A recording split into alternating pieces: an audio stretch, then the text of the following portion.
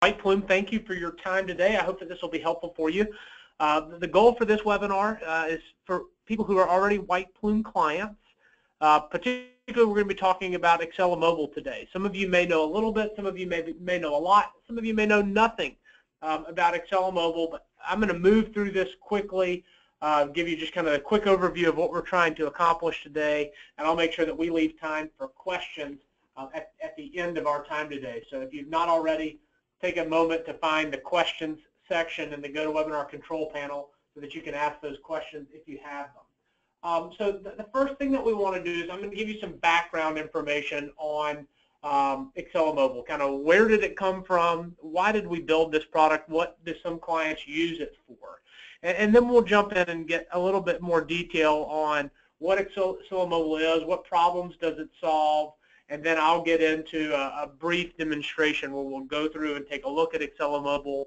Um, I'll do that on both a uh, PC web browser um, and also do it through uh, an iPhone just so you can see that both ways. And then, like I said, I'll make sure that I leave plenty of times for questions at the end. Um, so some background information on AccelaMOBILE, uh, just to start off with. Um, what we saw our clients doing is, and everybody on, on the webinar today is, is, doing this in some way, shape, or form, they're using either AccelaPASS or AccelaCAPTURE, right? They're either using their EHR or they're using the White Plume Electronic Superbill to capture the charge data.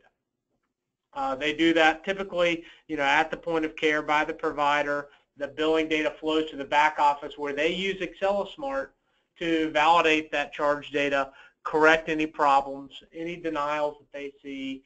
Uh, they'll try to make sure they prevent that. And that's what they do with AccelaSMART before they send the charge data to the practice management system via HL7. You know, our goal at White Plume has always been to protect doctors' time, protect their productivity, right? Because our doctors are the only people that are taking care of patients. They're the only people generating revenue for the practice but it's equally important to make sure that we get the right code the first time, right? How do we do that without turning our doctors into coders? How do we make sure that our claims are going to get paid completely and correctly the first time? That's what White Plume has always done, and that, that's what we'll always do going forward. Um, that's where we add value. And we ask our clients, hey, what do you like about White Plume? What do you love about White Plume?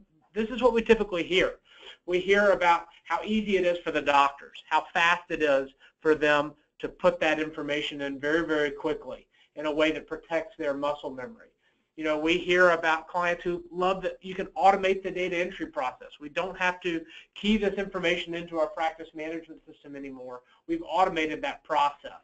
They make sure that they do it very, very quickly right? There's not a lot of time between when the patient was seen and when the charge is posted to the practice management system. And they're making sure that they do that correctly, right? Uh, we're reducing the denial rate, preventing denials in the future.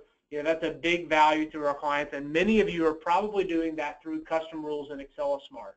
You can use those to prevent denials. You can use those to make sure you're capturing all of the revenue opportunities. And, and the number one thing that we hear from our clients is they love our white plume support. So with all of that being said, there were still places that our clients couldn't use white plume. There were still places where they had manual charge entry, where this information was still being captured on paper. And so that's where the idea for AccelaMOBILE came from. Looking around, hearing from our clients saying, there are still places that we're not able to automate. Why not? Where are these areas of opportunities? Um, and so here's what we've seen. Uh, sometimes it's surgery charges, right? You've got physicians that are going to the hospital, they're going to a surgery center, um, and they're still doing that through an op report. They're doing it through um, a, surgery cheat sheet. Um, it could be, for some of you that are orthopedic practice, it could be your PTOT. Maybe you have different systems uh, for those particular specialties or some of those ancillary services. Uh, for some of you, it may be hospital charges, where you've got doctors that are on call, they're seeing patients at the hospital, whether that's uh, inpatient admits, whether it's trauma call, but those hospital charges are being filled out on rounding sheets or note cards or sticky notes, right? Uh, another place we, we've seen clients do this process manually is through nursing home charges. Maybe you have some providers who go visit patients in the nursing home. And in what we hear time and time again, you know, why not? It could be lots of different reasons as to why they're still doing it manually, why they still have a paper-based process for that. It could be that it's outside of the clinic. It's outside of the four walls of the practice. And that means that it's difficult. Uh, you don't have all the support staff around the provider, right? The, the physician, he or she is kind of out on their own, right? You know, maybe it's because they aren't, you don't schedule appointments for those type of visits, right? Because you don't know who's coming in when you're on trauma call, obviously, right? It could be that you don't have access to your infrastructure, right? There's, they don't have, they're not your own PCs, they're owned by the surgery center. You can't put your software on those PCs. You don't have access to your server, to your network from those particular locations, right? Um, it could be, because, and this is always my favorite, is that's the way we've always done it, right? A lot of times you see places where you still have the old manual paper-based process because you've always done it that way and you really haven't thought about is there a better way to do it. So hopefully uh, we'll be able to give you some ideas of, of how to handle that today. So what we did is we looked at this and said, okay, is there a way that we can help our clients solve those problems? And the way that we're doing that is with a, another charge capture option called AccelaMOBILE.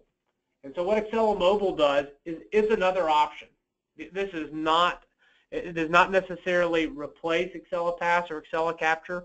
Most of our AccelaMOBILE clients use AccelaMOBILE for some of their encounters. Maybe it's their surgery charges and their office charges are being used through AccelaCAPTURE. Okay, so it is usually additive. It's usually not replacement. It's a complementary product. Um, so, so hope, hopefully that gives you a little bit of a framework of what it looks like from a big picture. And, and, let me tell you a little bit more about AccelaMOBILE. So the reason why we developed this was to try to help clients fill some of those manual gaps that they were still doing, whether it was their hospital charges or their surgery charges, some of their ancillary services. So what we did was we built a web-based application. All of the data is encrypted, is motion and at rest, so it is HIPAA compliant. And what that means is it allows your clinical team, your billing team, your administrative team, all have access to the same application. And it doesn't matter where they are, and it doesn't matter what device they use. Right? So if they want to use an iPad, they can use an iPad. If they've got an Android device or an iPhone, uh, they can use that. Uh, employees that are in the clinic, in the office, at their desk, can access it through their PC. Right? As long as you know the URL and the username and the password, you have secure access to this application. Right? Everybody has real-time access to the data. So if you've got a physician that updates it over at the surgery center, the billing team has immediate access to that. And that's important because that means that the charges can be batched in AccelaSMART as soon as they are completed. What we're trying to do there is eliminate the, the lag time, right? so that you're not waiting on um, the physician to bring the data back to the clinical office or bring the data back to the billing office. You can cut down on that lag time. It also allows you to run all of those charges through your AccelaSMART process, right?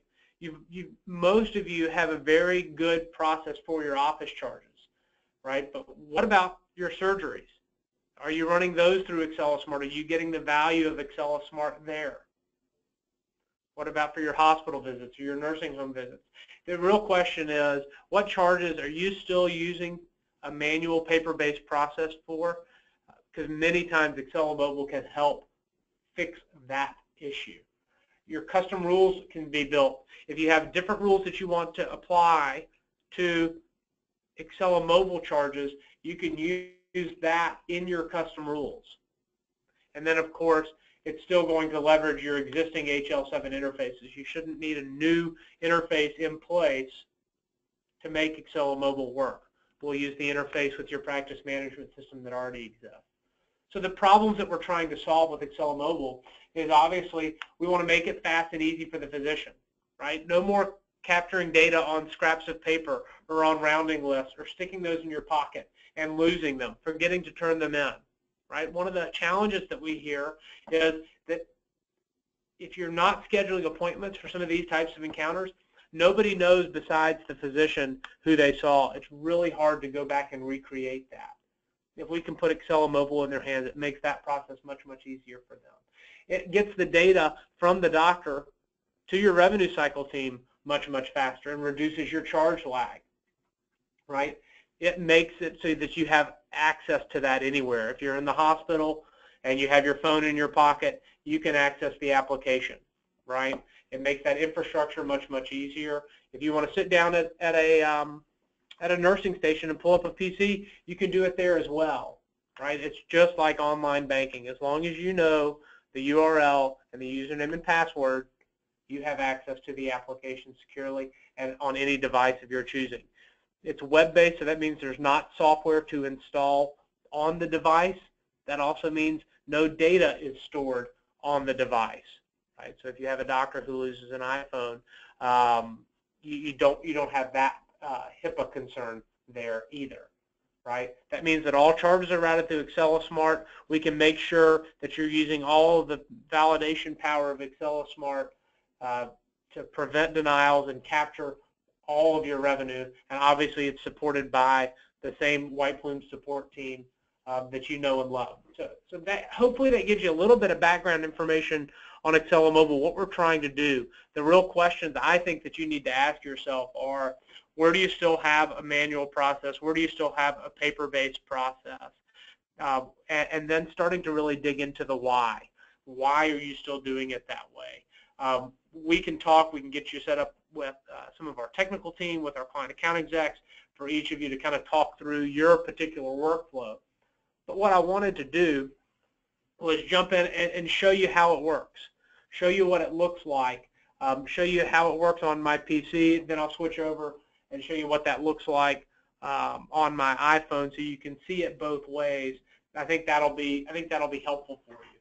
So what I'm going to do is I'm going to toggle over to my browser. Uh, so I, am using Chrome, but obviously you can use IE, you can use Firefox. Uh, it's just a personal preference for me. And what I'm going to do is go ahead and log in. So I'm going to type in my username, type in my password, um, and log in. And what I'm doing is I've, I've logged in as, as, Matthew Menendez, Dr. Menendez, and I have um, my appointment list for the day, right? So if I was using this um, for uh, my surgeries for the day, this might be in my default view, right? I'm still scheduling those in my practice management system. Those are flowing over across an existing HL7 interface, so it makes it very, very easy for me to see the surgeries that I have listed. Again, I could do this on my phone as well. I'll show you that example, uh, but I'm just starting with the, with the PC for now. All right, so you can see I already have one appointment that's in progress. When I click on that, it brings me to the encounter summary screen for this particular patient. You'll see that I have no diagnosis codes or procedure codes at this point. That's okay. I can start with my procedure codes. I can start with my diagnosis codes. And this is going to look a little bit different than AccelaCAPTURE uh, for those of you who are familiar with that. Uh, but let me start with my diagnosis codes. I'll click on Add Diagnosis, and it brings up my favorites list right? This is a list that we customize. It can be customized down to the provider-specific level of their most commonly used diagnosis codes.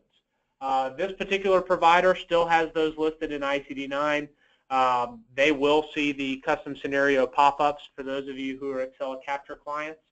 Uh, you'll see that in just a minute. Uh, but we build this list custom, so if you would prefer uh, to list out the ICD-10 codes, uh, that you're using most commonly, we can certainly build it that way as well.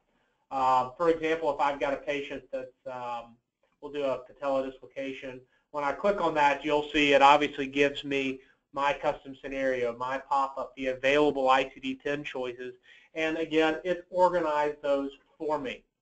Um, you'll see the uh, type, subluxation, dislocation uh, on the vertical axis, the laterality up on the horizontal axis, so if I've got a lateral dislocation of the right patella, uh, it's one click. It chooses that for me. Uh, I'm finished. It makes that very, very easy for me. It uses the same custom scenarios that are being used in AccelaCAPTURE today, right?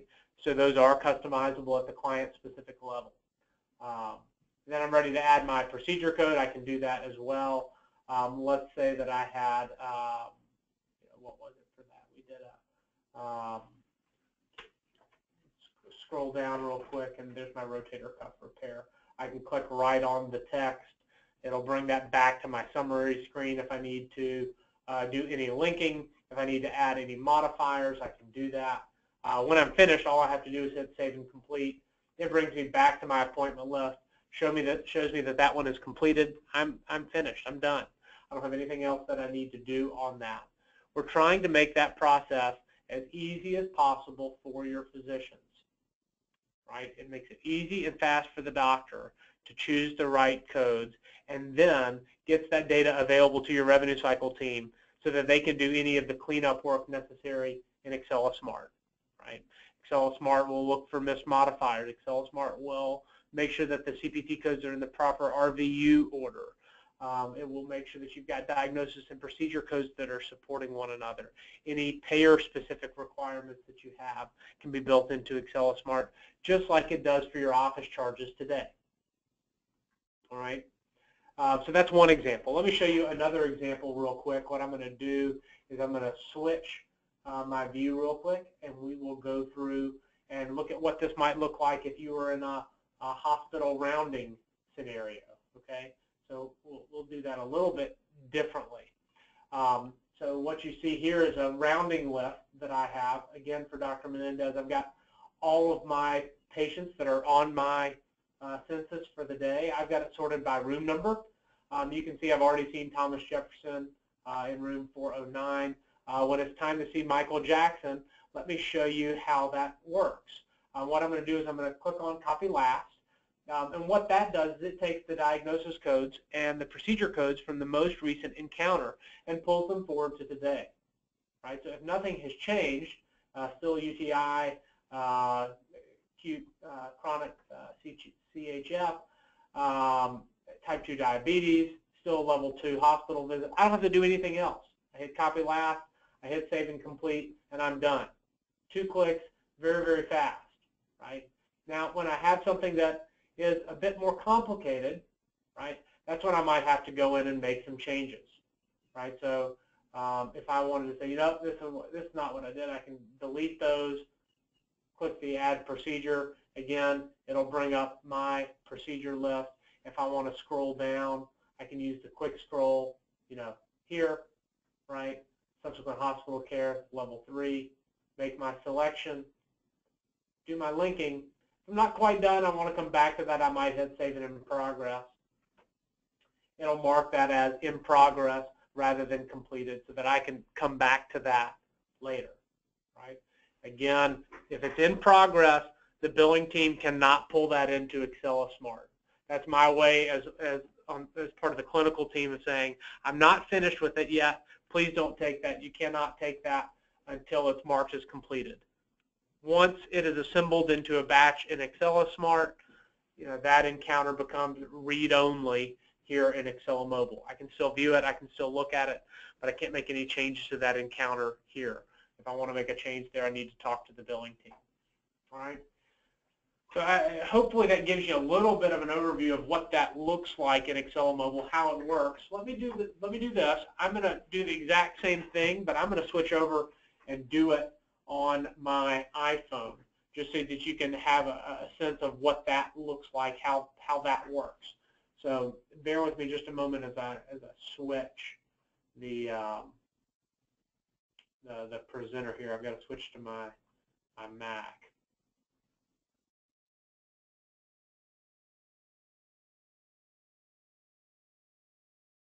Okay, so in just a moment you should be able to see um, just a, a back background of the beach, but you should see my, my iPhone here. This is a, uh, an iPhone simulator um, that, that we use uh, here in our, our development team. So what I do is it's a web-based application, so I could launch Safari uh, to get out there, but what I'm actually going to do is a lot of our clients put a desktop shortcut. shortcut.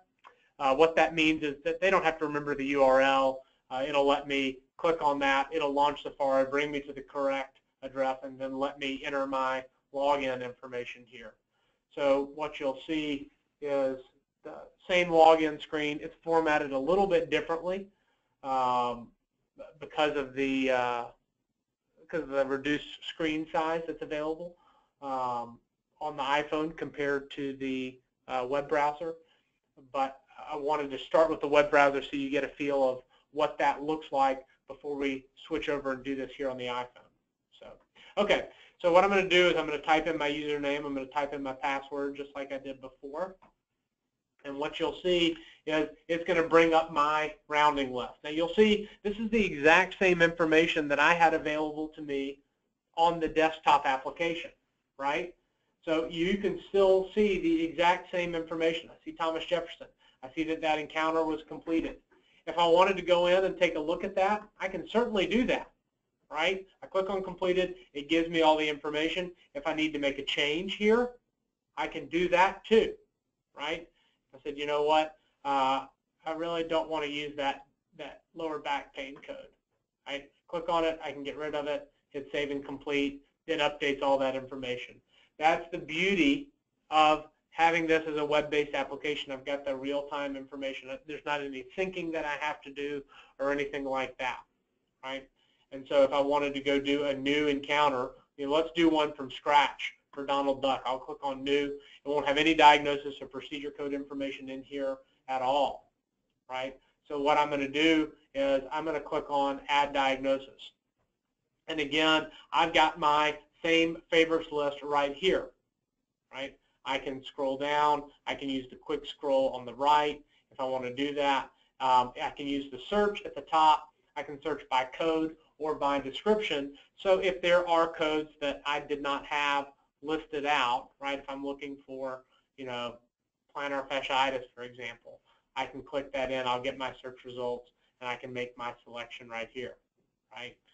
So what that lets me do is I, I can create a favorites list that's very short, that's workable for me, right? But I don't have to have all of the possible codes listed there because I have them available in the search box for me at the top. I can do that for procedure codes. I can do that for diagnosis codes. Um, now, typically what the, the workflow that the, the doctors who use this do is they won't select a diagnosis code and then go back to the encounter summary screen. That's just an extra step. So once they select their diagnosis codes, they'll hit toggle to CPT, and it just flips over to their CPT list, right? So that they can scroll down and pick the, the, the CPT code that they're looking for, right? They select their codes, again, back to the encounter summary screen, once they're done, save and complete, and it'll bring them back to their rounding list, back to their appointment list, depending on how they're using the application, right? Um, some people use that, again, for inpatient visits. Some people use that for surgeries, ancillary visits, uh, nursing home visits. It's really just an application to try to say, where are we still doing this manually? How do we automate that process and make it very, very easy for, for our physicians? Um, so I hope that that hope that that's helpful. Gives you at least a little bit of a visual to to start to think about how you might use that in, in your practice. Uh, we are certainly happy to to kind of get in there and talk through the details with you because um, different practices use it different ways. Um, so if you want to do that, the, the best place to start um, is with your client account exec. If you don't know who that is, um, just let me know and we'll get you in touch with the right person. Um, one more thing that I wanted to show you real quick is sometimes there may be a patient who's not on your list, right? A patient that's not on my list, what do I do? How do I add them, right? Can I still see that patient? Absolutely. Uh, I'm going to go up to the top right where you see patient search. And the reason we've done this is it searched for all of the existing patients in your White Plume database um, which, which is being fed by your practice management system. This prevents me from creating duplicates. But if I do have a patient uh, who I've never seen before, we've never seen before in the office, uh, I can still see that patient as well. Um, so let, let me do this real quick. What I'll do is say we're searching for a patient and I, am going to say that I'm looking for, um, uh, let's say I'm looking for Julio Jones, for example. I'll search for the patient with the last name Jones, and you'll see that a lot of them are here, right? I see Johnny, I see Joyce, I don't see a Julio, right? So if I, if I have a patient that is not, if that's on my list, it's very easy. I just click on their name. For a patient who's not on my list, what I'm going to do is click the green button here at the bottom. It says Create New Patient. And what that does is it allows me to continue to enter additional information, right? I don't have to type Jones again, right, because I don't want to put that information in twice. But maybe I'll put in first name, last name, and then I'll put in date of birth, right? Uh, why don't we do an April Fool's Day, maybe, here for us today. And what I'm going to do here is just putting in enough information so that the staff later can come in and make sure that we register this patient correctly. All right. So here we go. I've got an expanded section. If I need to put in an admit date or a location or change the doctor, add a, a auxiliary provider, referring physician, uh, a billing note, I can do that. That information is usually um, hidden just to save screen size, but I can toggle that on or off either way, right? Uh, one thing that a lot of people do like to do is they like to put in the room number. And what this does for me is it makes it easy for me to know where that patient is. So if I'm, if I'm rounding on that patient, I can come back and see them later. So for example, I'll hit save it in progress and you'll see there he is. Julio Jones is right there on my list. It makes it easy for me to see that patient, easier for me to come back and see that patient later and that patient will show up on a patient reconciliation list. And for the uh, the back office employees, they typically use that patient reconciliation list to go over, register the patient in the practice management system, and so that they can assign that patient a, uh, a patient ID um, in AccelaMOBILE so, so that the charges can post correctly. That's a, that's a great question. There's always a way for you to add those uh, add those patients in um, on the fly if necessary. A great question. All right, let me let me do this. Let me um, let me stop there and answer any questions that you may have. Again, the questions panel should be on the far right